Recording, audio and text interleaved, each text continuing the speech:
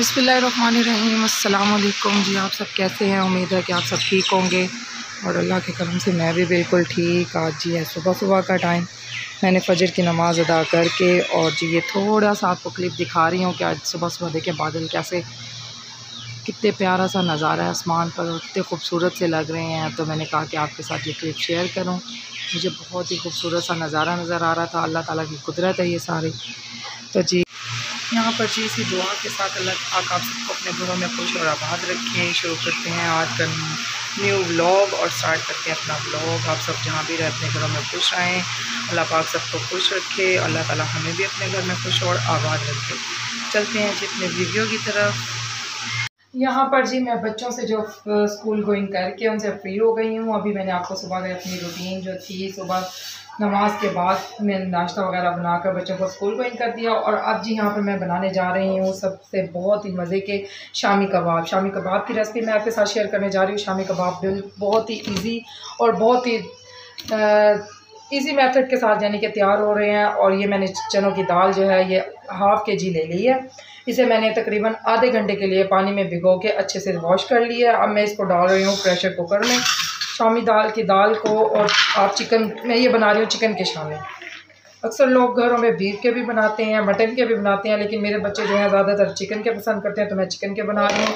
ये देखिए, यहाँ पर जी मैंने लहसुन और अदरक अदरक के मैंने ये तकरीबन दो इंच का जो पीस है, ये ले लिया है। और ये एक पूरा जो लहसुन का वो फली, वो होता है, वो मैंने ले लिया लहसुन का और वो इसमें शामिल कर दूँगी। अदरक भी मैं इसको कूटे बगैर ही ऐसे ही शामिल कर रही हूँ। और ताकि जो है ये अदरक जो है जब मैं इसके, इसको, इसके साथ ही अच्छी तरह से नरम हो जाएगी, जब मैं इसको दम पे रखूँगी तो मैं इसके साथ ही कोट लूँगी, अदरक भी साथ कोटी जाएगी। और जी, इसमें मैं नेशनल का जो है शामी कबाब का मसाला जो है वो डाल रही हूँ।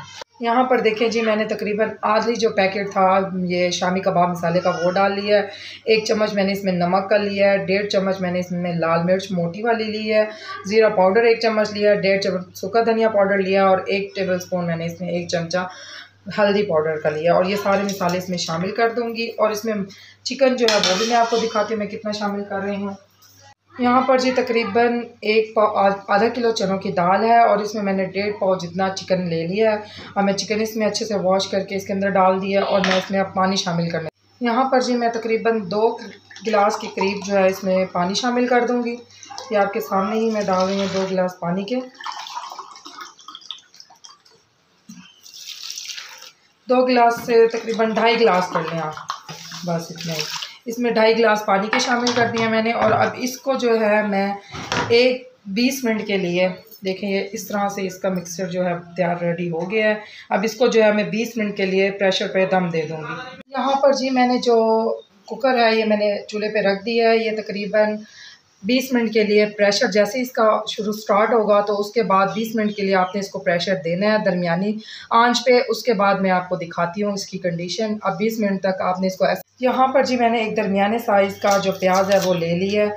इस दरमियाने साइज़ के प्याज को मैं छिलका उतार के उसके बाद जी मैं इसको ग्राइंड कर लूँगी। ग्राइंड करने के बाद अच्छी तरह से यानी कि इसको मैं यहाँ पर जी देखिए, मैंने जो एक प्याज था, उसको अच्छी तरह से ग्राइंड कर लिया। है ग्राइंड करने के बाद इसका जो पानी है, वो मैं अलग करके इसको एक कटोरी में रख दूँगी। एक इसको मैं जो है जी, एक प्याली में रख दूँगी। प्याली में रखने के बाद जो मैं अगला प्रोसीजर करूँगी, वो मैं आपको बताती हूँ। यहाँ पर जो है, मैंने प्रेशर कुकर का दम जो है, वो खोले लगी हूँ। मैंने कहा, मैं आपके साथ ये वीडियो भी शेयर करूँ। तो यहाँ पर जी मैं प्रेशर कुकर को खोल रही हूँ। और देखते हैं देखते हैं कि हमारा मसाला यहाँ पे कितना हद तक नरम हो गया इस हद तक हो गया कि हम उसको कूटेंगे तो वो हमारे शामिल सही तरीके से जुड़ जाएँगे। तो देख, यहाँ पर जी ये देखें, बहुत ही मज़े का जो है, ये मसाला जो है वो रेडी हो गया ये देखें, सारा पानी और हर चीज़ खुश्क हो गई है। अब जी इसको हम अच्छे से जो है कोट लेंगे, इसको थोड़ा ठंडा करने के लिए रख छोड़ देते हैं। इसको सारे को कोट के फिर मैं आपको इसकी सही लुक दिखाती हूँ। ये देखें। बेहतरीन ये मिक्स हो चुका है इस टाइम अब इसको अब इसको दो मिनट तक ठंडा करने के बाद इसको कूटना स्टार्ट करते हैं। यहाँ पर जी मैंने शामियों का जो मटेरियल है, इसको मैंने कोटना स्टार्ट कर दिया है। ये देखिए, मैंने थोड़े से यहाँ पे कोटे हैं, मैं वो दिखा रही हूँ आपको। जब सारे कोट लूँगी, उसके बाद आपको पूरा मटेरियल जब इसका मैं, मैंने मैश कर लूँगी, उसके बाद दिखाती हूँ। अच्छा जी, यहाँ पर ये जो प्याज थे, मैंने ये सारे अब मैरिनेट हो गए मेरा। ये देखिए, मैंने सारे को कोट किया और अभी जो प्याज है, इसके अंदर शामिल कर देंगे।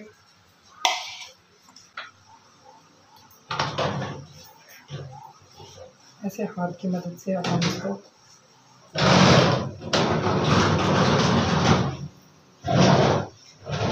ये देखें जी, इस तरह से हम शामी जो है सारे रेडी कर लेंगे और ख़ूबसूरत से ट्रे में जो है साथ रखते जाएँगे थोड़ा थोड़ा सा आप हाथों को पानी भी लगा सकते हैं ताकि आपके शामी जो है वो ख़राब ना हो।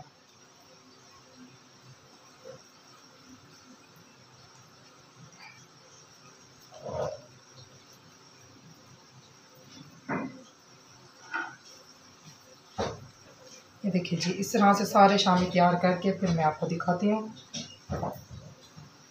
देखें जी, जो छामी है, इनकी दो तय लगी है, मैंने इनको बना लिया और यहाँ पे ऑयल मेरा गर्म हो रहा है। ऑयल गर्म होने के साथ साथ मैं इसको फ्राई करने लगी हूँ। बहुत ही इजी और इस स्टेज पे आके ना, जैसे ही मैंने किया इनको, शामियों को, इस स्टेज पे आके आप इनको फ्रीज भी कर सकते हैं।